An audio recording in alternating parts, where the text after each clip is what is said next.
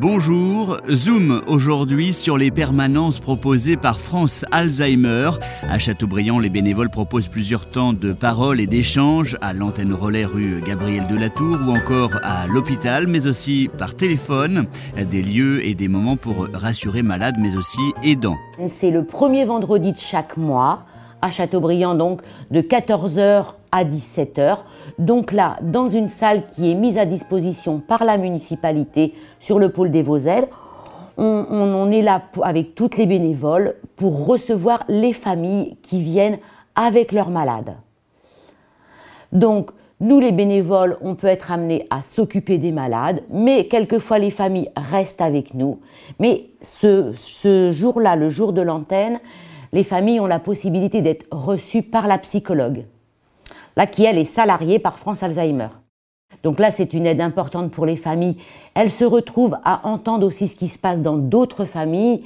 Elles se sentent moins seules. Quoi. Elles se rendent compte que ben, leurs difficultés, c'est aussi les difficultés des autres familles. Mais nous, les bénévoles, on fait des activités avec les malades.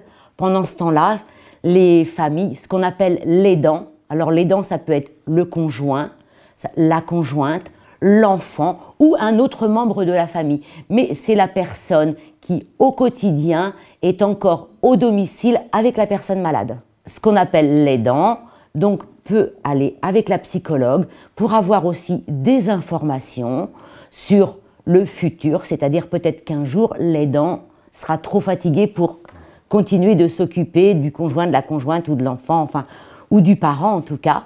Et donc là, l'association a aussi pour but de donner les informations pour essayer d'imaginer un avenir euh, un petit peu plus clair, un petit peu moins inquiet peut-être aussi. Nous, les gens viennent chez nous, viennent à l'antenne.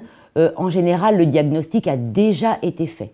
Ils viennent, c'est pour une aide, pour mieux comprendre aussi ce qui leur arrive. Alors, donc nous, en tant que bénévoles, on est donc habilités à recevoir les malades le premier vendredi de chaque mois pour un après-midi, donc où là, on fait des activités qui vont du chant à des activités manuelles, des promenades, au plaisir des gens, voilà, par rapport à leurs attentes. Et après, on prend un petit goûter tous ensemble. Mais autrement, nous, le rôle aussi des bénévoles, c'est d'aller dans les familles chaque semaine pendant deux heures. Parce que nous, on parle de malades Alzheimer, enfin de malades qui ont des problèmes de mémoire, mais ce sont des malades qui sont encore à domicile. Hein. Donc nous les bénévoles, on a aussi pour mission d'aller dans les familles par, par tranche de deux heures. Et pour tout savoir sur la maladie, ses symptômes, ses conséquences, rendez-vous sur le site internet de France Alzheimer, www.francealzheimer.org.